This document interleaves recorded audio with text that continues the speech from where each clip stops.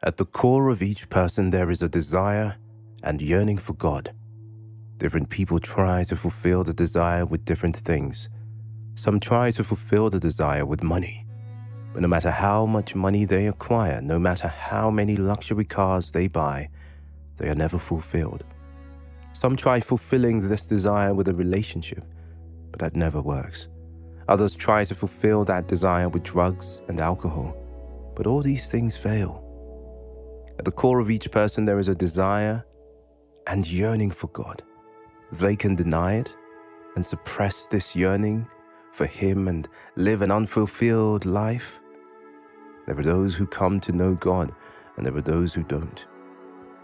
For those who know God, it is so clear to them that God is, and that God has always been. From everlasting to everlasting, God has always been there. For those who come to know the gospel, it is obvious to them. It is abundantly clear that there is a God who created the heavens and the earth. It is abundantly clear to them that everything couldn't be here by accident. The world and all its complexities couldn't be formed by an evolutionary coincidence. For the people who know the gospel, it is so clear to them that God created them, that He formed them, that He designed them in His own image, and that human beings are not animals, and that they are not a mishap of the evolutionary process. They are created by the Almighty God. All of these things are abundantly clear to those who have come to know the gospel. But there are those who see the gospel as foolishness. They see the gospel message as a made up myth, although history proves the gospel message is true. Although there is historical evidence that proves that there was a man called Jesus who walked on water, who raised the dead, gave sight to the blind, made the lame walk, cured a woman with the issue of blood, died one Friday, and died the deaths of deaths there is historical evidence that Jesus died. He didn't faint. He wasn't in a coma. He died for three days and was resurrected on Sunday. There is historical evidence of this. There are eyewitness testimonies of this outside the Bible that validate the truth of who Jesus is. Yet for some people, the message of the cross is foolishness, and for others, that very same message is the power of God. 1 Corinthians 1, verse 18 For the message of the cross is foolishness to those who are perishing, but to us who are being saved, it is the power of God. I asked myself how one message can be preached, and there are two groups. The answer is also in the Bible 2 Corinthians 4, verse 3 to 4. And even if our gospel is veiled, it is veiled to those who are perishing the God of this age has blinded the minds of unbelievers so that they cannot see the light of the gospel that displays the glory of Christ, who is the image of God. You see, 2 Corinthians 4, verse 3 to 4 reveals to us the great deception setting in. 2 Corinthians 4, verse 3 to 4 reveals to us that there is an actual person making an effort behind the scenes to keep people from being freed from darkness. There is someone who is making an active effort to blind the minds of people towards the gospel. Paul refers to this entity as the God of this world. Paul is describing the work of Satan on earth. Ephesians 2, verse 2. We do know that the devil is the God of this world.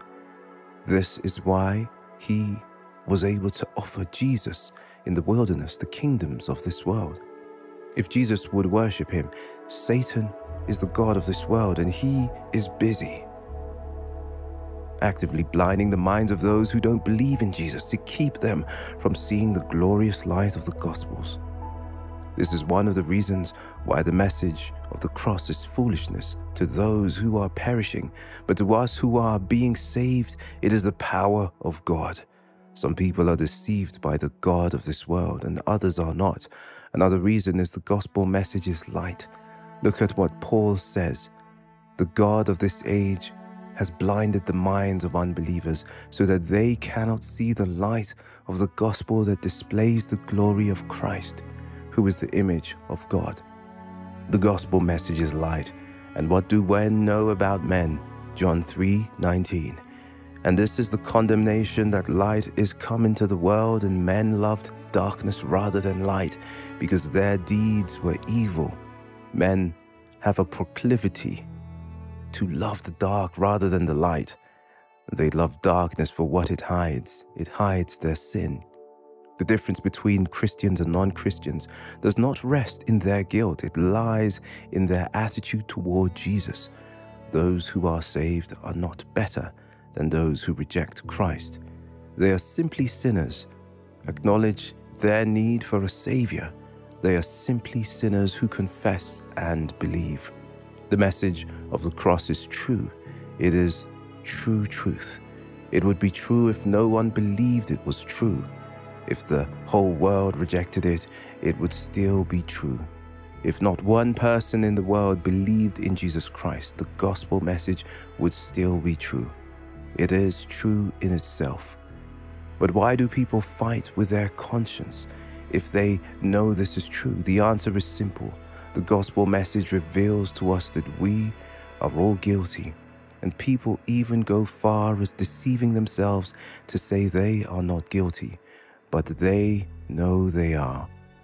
Who wants to hear that they are guilty? Who wants to hear that they will have give account for the secret sins that no one knows about?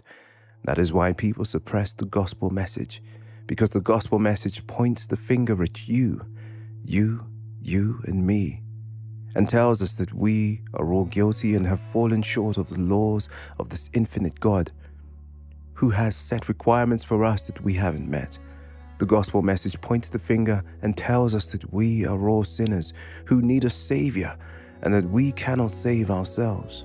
But people do not like this because they know they know they haven't kept the Savior's commandments and that they are guilty and they have offended and disobeyed a God who is eternal, infinite, and holy.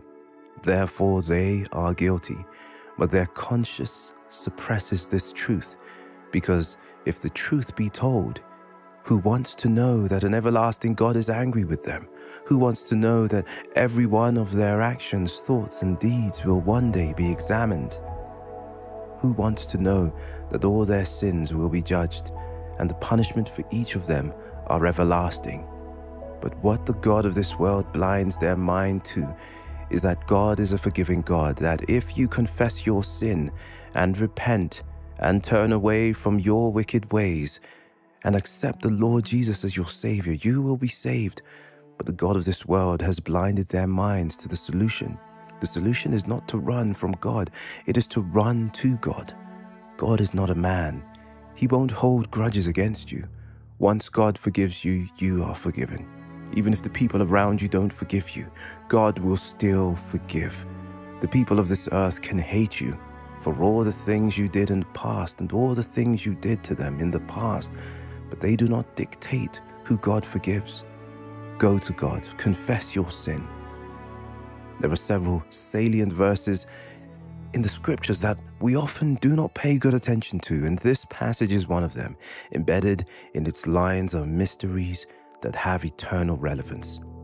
Well, this teaching will help us to bring back to mind the great power of God that is unleashed for our salvation and also help us to appreciate God for the great grace that counted us worthy to be numbered among the saved. Our salvation is the greatest gift of God to mankind. Unfortunately, not everyone will accept it.